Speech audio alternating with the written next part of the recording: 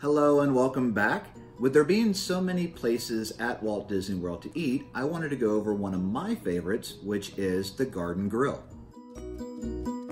The Garden Grill restaurant is located at Epcot in the Land Pavilion. It's a slow-moving 360 degree rotating restaurant around the Living with the Land ride.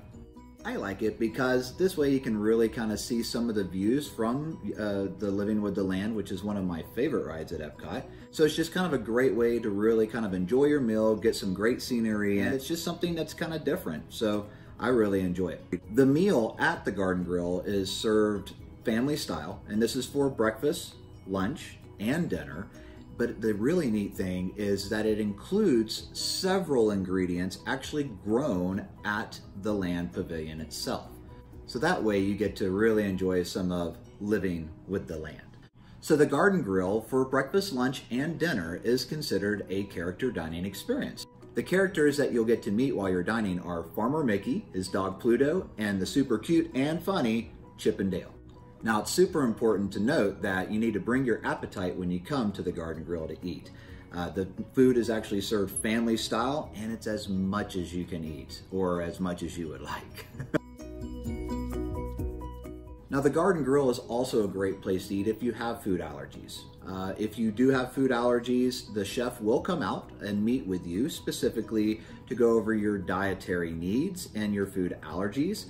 So guys, don't be afraid to ask for that. That is something that Disney definitely wants to do for you uh, and they encourage it. Just let them know everybody deserves to have a magical experience while on property and getting sick from your food is not one of those magical experiences. So please make sure that you notify your server uh, or your hostess to let them know that you do have special dietary needs or you have food allergies, and the chef will make sure to make accommodations for that.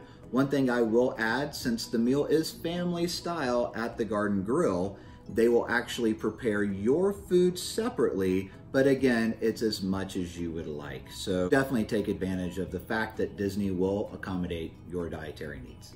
Now I'd like to know your thoughts. Have you guys eaten at the Garden Grill? Did you enjoy the food? What did you think? Did you have certain dietary needs that you needed the chef to focus on? Let me know your thoughts in the comments below. As always, I've enjoyed our time together. Please go ahead and hit the like button below. And if you haven't already, please subscribe to the channel so we can keep you updated with the latest videos.